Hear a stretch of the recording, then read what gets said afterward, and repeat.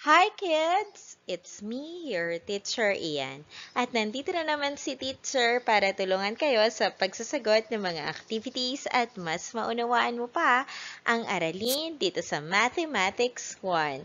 Ang ating pag-aaralan para sa linggong ito, pagkilala, pagpangalan at pagsuri ng apat na pangunahing hugis na may dalawa at tatlong dimensyon. Ito ang ikalimang linggo ng third quarter. Para sa mga hindi pa nakakapag-subscribe sa akin channel, mag-subscribe na kayo para updated lagi kayo sa lahat ng latest videos na i-upload ko. At kung gusto nyo man-notify kapag may bagong upload na video sa teacher, i-click mo lang ang notification bell.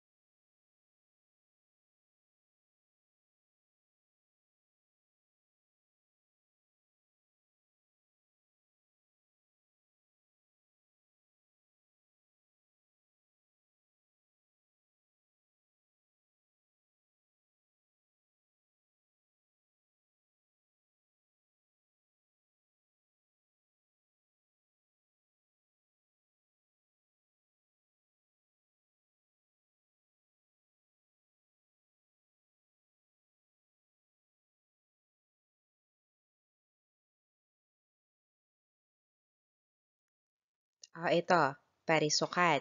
Isa sa mga two-dimensional o 2D. Kapag sinabi natin 2D, kids, ito yung may sides lang. Flat lang ito. No, wala ito yung tinatawag na thickness. Mamaya makikita nyo naman dun sa video, mas mauunawaan nyo dun. Pero explain na rin ni teacher dito. Ang parisukat ay isa sa mga pangunahing hugis na may apat na magkakapareho at magkakasukat o tinatawag natin sa English na congruent no? Congruent yung side o gilid. Dito sa parisukat natin, kapag sinabing congruent, ito, bigay tayo ng value. Halimbawa, itong side na to, sabihin na natin ito ay 5 centimeters. Kung 5 centimeters yan, dapat ito 5 din. Ito 5 din at ito 5 din para masabi na ito ay parisukat. Next, ang parihaba ay isa rin sa mga pangunahing hugis na may apat na side o gilid. Yung parisukat, apat ang sides, di ba? Pero ito, apat din yung sides. Yun nga lang, mayroon lang itong dalawang pares na magkapareho ang sides. Ito yon. Kung dito sa kanan natin, ayan, ito ay 5 centimeters, dapat itong sa kaliwa ay 5 centimeters din. Yun nga lang, hindi lahat ng sides ay magkakapareho, kundi dalawang pares lamang. Ito ang unang pares natin na magkapareho yung side, tapos ito namang taas at baba. Kung itong taas ay 8 centimeters, dapat itong baba ay 8 centimeters din. Para masabi natin na ang hugis na to ay, ano, parihaba. O sa English, rectangle. Ang sumunod natin ay tatsulok. Ito ay isa rin sa mga pangunahing hugis na may tatlo namang sides. Yan, kung mapapansin nyo, meron ako ditong binigay na tatlong halimbawa ng triangles kasi maraming, maraming halimbawa ng tatsulok. No? Lahat yon pwedeng, basta tatlong sides matatawag natin na triangle. Yun nga lang, may kanya-kanyang uh, distinction o yung meron term para doon na triangle pa rin naman. No, meron dito na magkakapareho, yan, pwedeng pare-pareho daw yung sides, triangle pa rin yan.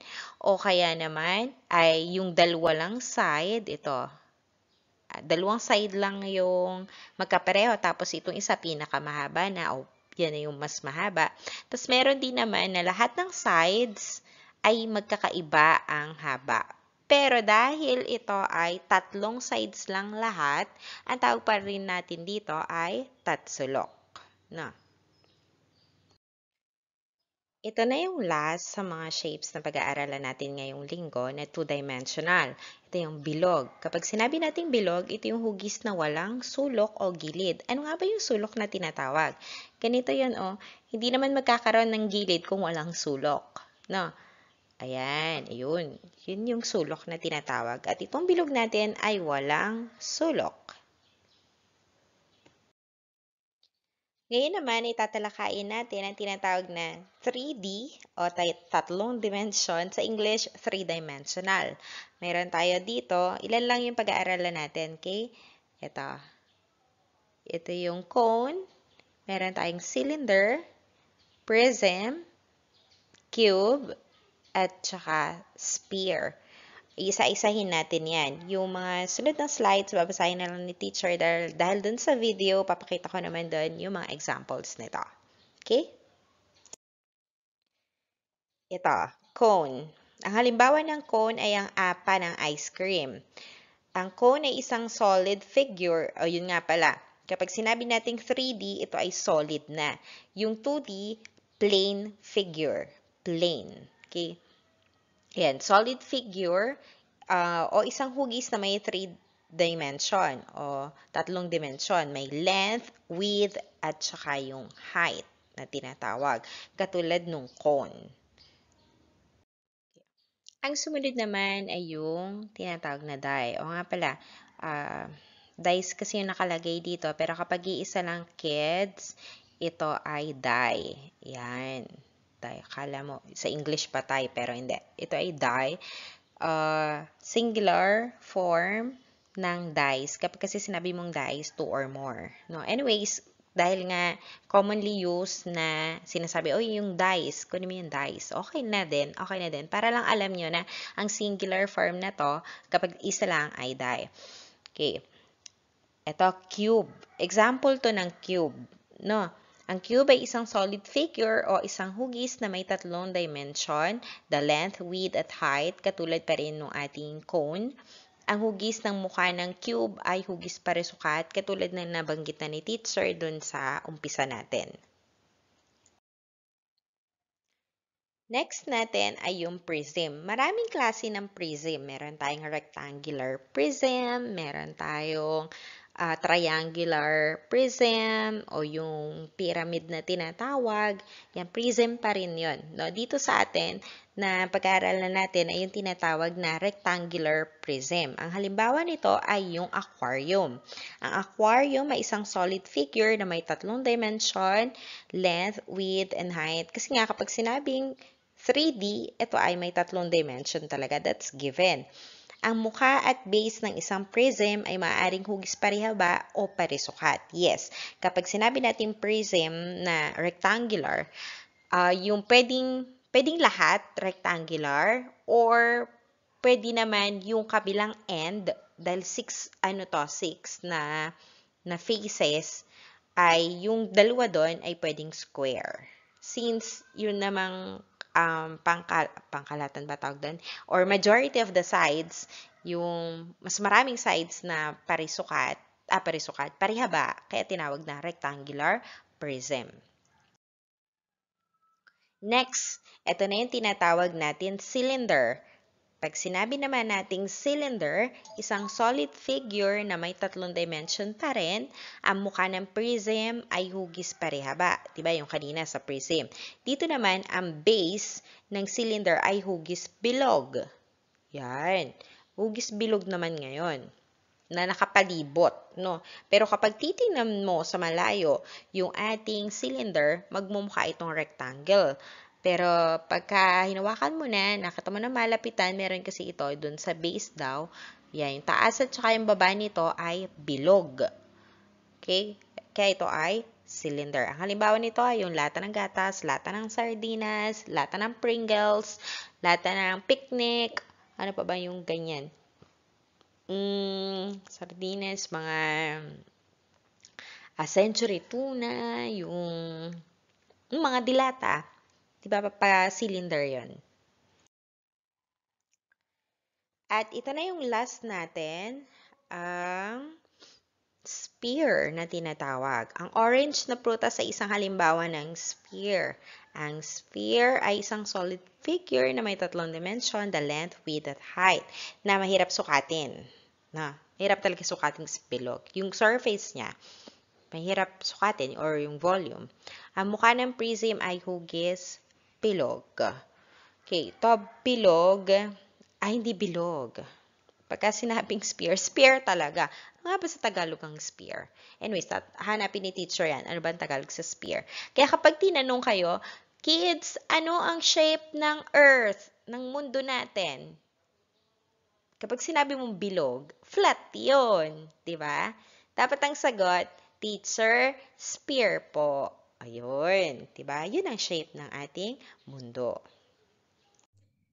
Ayan. So, ito, kids, papakita ko na sa inyo yung mga halimbawa ng ating 2D para mas ma-explain ko sa inyo ano ba ang pagkakaiba ng tinatawag nating 2D at saka 3-dimensional. Ayan. Dito sa ating halimbawa, makikita nyo, meron tayo dito tatsulok. Ayan. Kahit baliktarin ko to, sa gilid, wala kang makikita. Yan. Wala itong thickness na tinatawag. Ang 2D ay mayroon lang tayong length at saka width. Ito yung mga sides lang nito. Yan.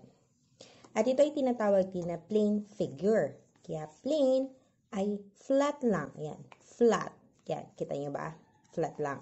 Ito yung tatsulok. May tatlong sides. Yan. Isa, dalawa, tatlo. Katulad nga na sinabi ko sa inyo, ang tatsulok ay may iba't ibang, excuse, may iba't ibang klase ng tatsulok. Pero basta tatlong, uh, tatlong sides, tatsulok ang tawag dito. Okay, next. Ang ating parihaba, rectangle. Okay, sa ating rectangle, sabi nga ni teacher, yung dalawang sides na to, na pair, ha, pares, dalawang sides ng pares, ay magkapareho ng sukat. Katulad nitong kanan at kaliwa, yan, pagka pinagtabi natin ng ganito, ayan, kung mapapansin nyo, magkahasing haba lang. Tapos, ito naman taas at baba nito, excuse me, uh, tila lang muna ni teacher, yan. Magkapareho lang din yung haba nito. Yan, yan yung tinatawag natin na rectangle. At isa din sa 2D. Yan, flat lang ha. Plain figure. Okay? Sumunod natin ay itong circle o bilog. Yan, walang sulok. Wala sides kasi ito ay pabilog lang. Yan. At ito naman ang ating parisukat. Na kapag sinayang parisukat, lahat ng sides ay magkakapareho ng haba. Yan. Ito na mo ha. O, pareho lang to. Pareho lang to. Yan. At para malaman mo kung pareho ito at ito, ayan. O, di ba? Pareho lang yung magkatabing yan. Kaya yan ay tinawag na parisukat. Ngayon, punta na tayo sa tinatawag nating 3D o yung 3-dimensional, tatlong dimensyon. O, lalagay ko lang to dito ha, para mapakita ko sa inyo. Okay. Meron tayo dito, cone. Yan. Ang cone ay binubuo ng, kala mo, triangle. Pagka ginito mo lang, yan. Yung hindi mo makikita yung pinakababa niya, kala mo tatsulok lang, di ba? Pero ang 3D, meron tong thickness na tinatawag. Ayan, sa loob. Kumbaga, walang takip eh. Ito ay ginawa lang ni teacher. Yan. That is cone. Ito yung may, sa baba nito, bilog. Tapos, ay, yan.